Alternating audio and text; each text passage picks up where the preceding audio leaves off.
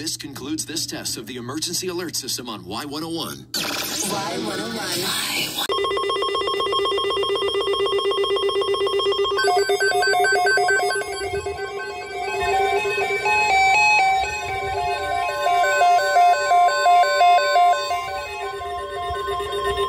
The National Weather Service has issued Tornado Watch number 569, effective until 7 p.m. Central Standard Time. This watch includes the following counties in Mississippi, East Dakota, and Yazoo.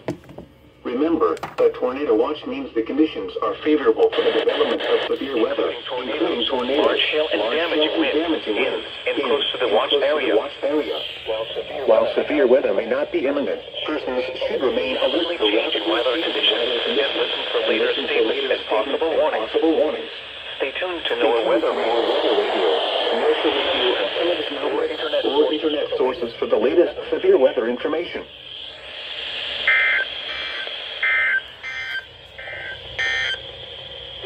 The National Weather Service has issued Tornado Watch number 56 in close to the watch area.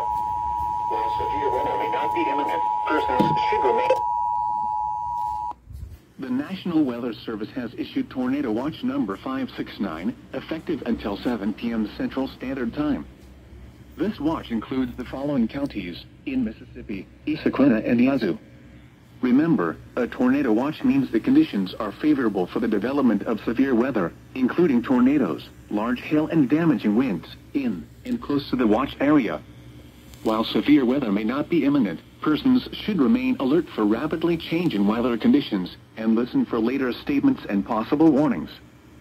Stay tuned to NOAA Weather Radio, commercial radio and television outlets, or internet sources for the latest severe weather information.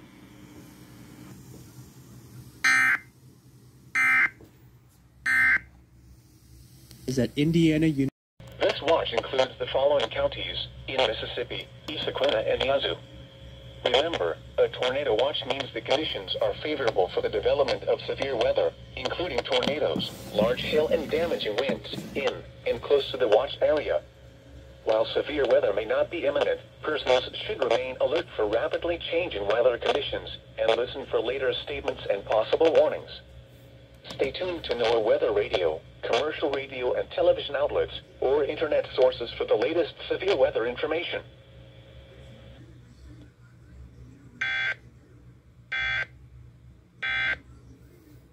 Conscience